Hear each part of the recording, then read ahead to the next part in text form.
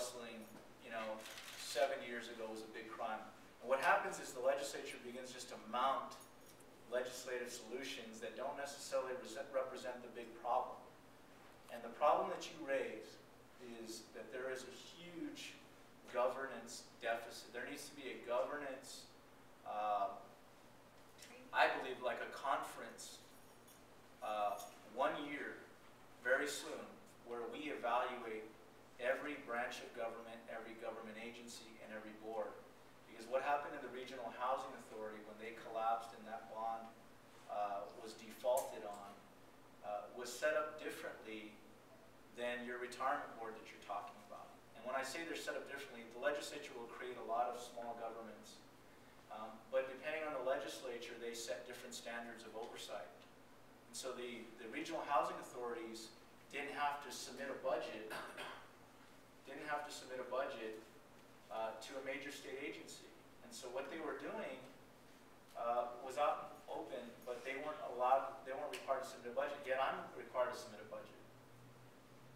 And the ERB has different standards as well uh, than the State Investment Council. And so the legislature, what I'm pushing, and the citizen, one thing I can share with you as, as from the auditor, is that the legislature needs to look at every agency and set a baseline best practices of what, how much oversight is enough for the citizens and apply it equally to everybody.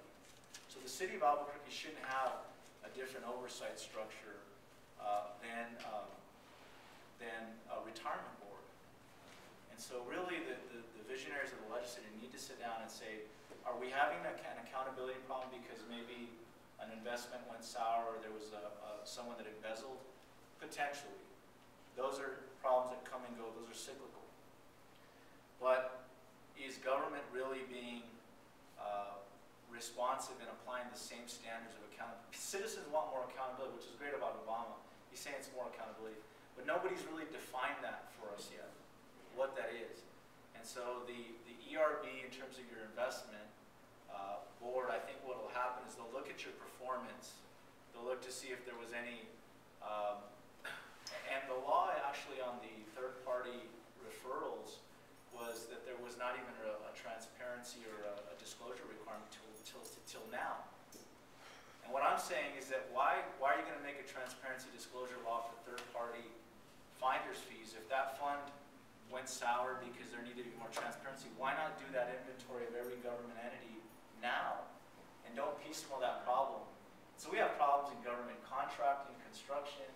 We have problems with uh, retirement. We have problems with timesheet uh, issues. We've got all kinds of issues, and yet we really haven't taken a systemic look at reforming everybody fairly and equally and setting a benchmark standard of what They, they have something now, a benchmark. Follow the money. Well, yeah, exactly.